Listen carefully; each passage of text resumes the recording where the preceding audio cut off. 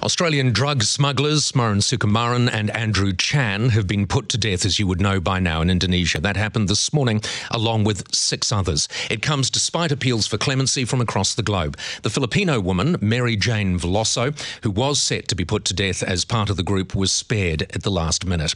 Amnesty International has long been campaigning for the abolition of the death penalty. With me now is Executive Director Grant Bayldon. Um, Grant, thank you very much for joining us this morning. morning um, first of all, we need to mark the wood. The um, uh, the clemency shown to Mary Jane Veloso was was I'm sure greeted with open arms by yourself. A- absolutely, quite extraordinary the way that happened with, with someone coming forward and confessing just just days before the executions were due to take place.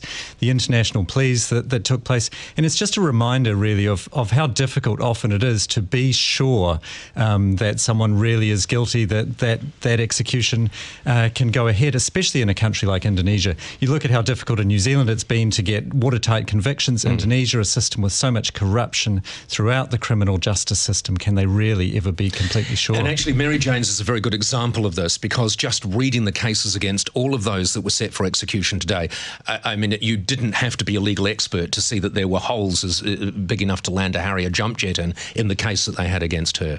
Well, throughout this, you've seen a, a lot of political involvement in the cases. Uh, most most of these prisoners have been on death row for ten years. Indonesia hasn't been been practicing the death penalty for some time up mm until this year. Then they've been plucked off death row in what seems to be an attempt by the Indonesian president to look tough. This is playing very popularly back home in Indonesia for him.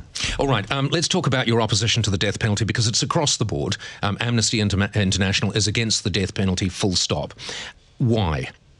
Well, for, for many reasons. Uh, the death penalty has never been shown to be a, an effective deterrent against crime. In fact, many studies have shown that, that it's not at all. Um, also, uh, as we've as we've mentioned, very difficult to get actually watertight convictions to know um, beyond really any doubt that someone is guilty. Uh, the United States, with all the legal processes it has, has an estimated four percent. They have made um, some fundamental, but very high-profile mistakes in the past. Ab- absolutely, they have. Um, so, so we know that the death penalty is never the answer answer. It, it's cost the Indonesian government millions and millions of dollars to run these executions and the process leading up to them. If they were really trying to prevent crime, spending that money on crime yeah. deterrence w- would be a far more effective way to do that. Is now a very good time because obviously it's very high profile. This debate is now a good time to try and um, to try and put a stop to this in Indonesia?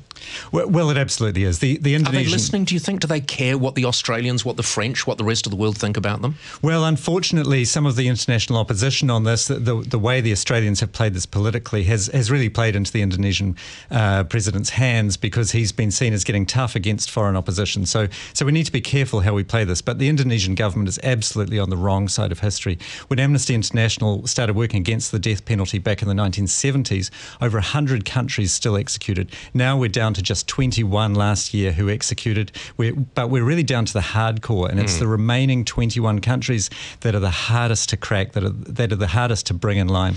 But, but they are on the wrong side of history, and we're confident that eventually the death penalty will be a thing of the past. We saw some high profile pleas to Tony Abbott from um, high profile people, actors, what they would know in particular is of no interest to us.